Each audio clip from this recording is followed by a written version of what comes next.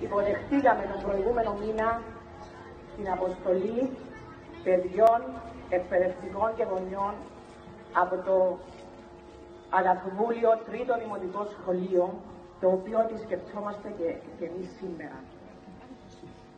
Οι ανταλλαγές αυτές των επισκέψεων είναι πέρα για πέρα και καθόλου χρήσιμες.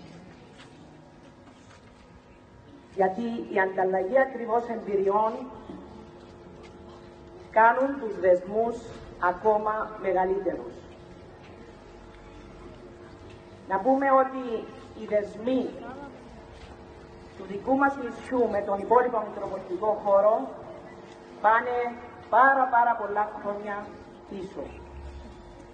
Να θυμίσω απλώς τον Ζήνονα τον Κηδιαία, τον στοικό φιλόσοφο, ο οποίος τίμησε τα ελληνικά γράμματα στη Μητρόπολη του Ελληνισμού την Αθήνα, ιδρύοντας την περίφημη ΣΤΟΑ.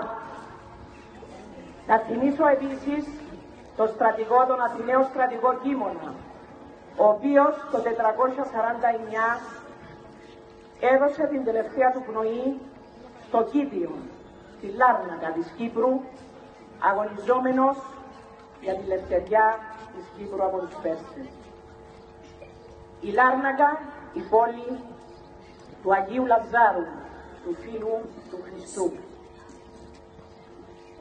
Μεταφέρω επίσης τους αδερφικούς χαιρετισμούς των παιδιών όλων και των συναδέλφων του Δημοτικού Σχολείου Δροσιάς Κύκλος Β, Μιχαλάκης Παρίδης, που τα τελευταία χρόνια πήρε το όνομα από, το, από έναν από τους αγωνιστές της Λευτεριάς, τον Μιχαλάκη Παρίδη, που έδωσε μαζί με άλλα παλικάρια της ΕΟΚΑ τη ζωή του για την ένωση της Κύπρου με την μητέρα πατρίδα την Ελλάδα.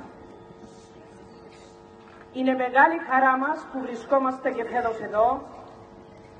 Σας ευχαριστούμε πάρα πολύ για την υπέροχη φιλοξενία σας.